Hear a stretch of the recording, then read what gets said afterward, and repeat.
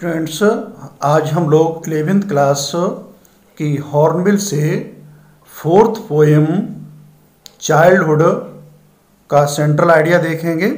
इस पोएम की रचना मार्स नेटन ने की है। मार्स नेटन इस पोएम में अपने बचपन को याद करते हैं और प्रौढ़ावस्था में किस तरह के विकार मानव जीवन में आ जाते हैं। उनसे व्यथित हैं और वो पुनः अपने बचपन में जीना चाहते हैं। तो आए मार्क्स नेटन की ये पोएम चाइल्डहुड का सेंट्रल आइडिया देखते हैं। कैसे लिखेंगे? इस पोएम का सेंट्रल आइडिया ध्यान दें, the central idea of the poem childhood by Mark Snatton is that the poem speaks about childhood.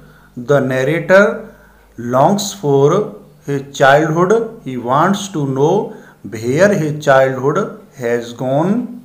Now he finds the same lovely stage of life in infant's face as a baby is unknown to worldly things, so is pure and true. एक बार पुनः मैं Hindi meaning के इस central idea को देख लेते हैं।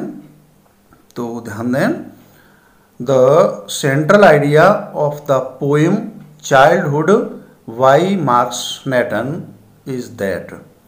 Markus Natten की कविता चाइल्डहुड का केंद्रीय भाव है कि the poem speaks about childhood ये कविता बचपन के बारे में जिज्ञासा प्रकट करती है।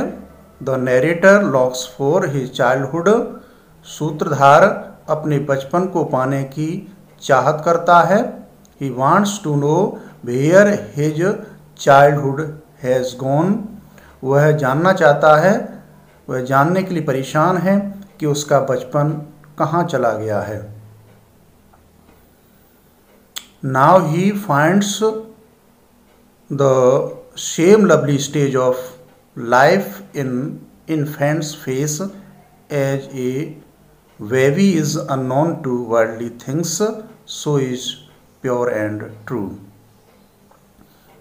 जीवन के उस प्यारे दौर को वो एक बार पुनः शिशु के मासूम चेहरे में पा लेता है, क्योंकि एक शिशु ही दुनियादारी से अनजान होता है और इसीलिए उसमें सुचिता व निर्म, निर्मलता का वास होता है।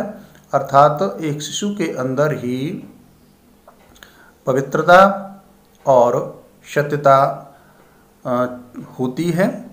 तो इस तरह से ये पोइम चाइल्डहुड का सेंट्रल आइडिया हुआ।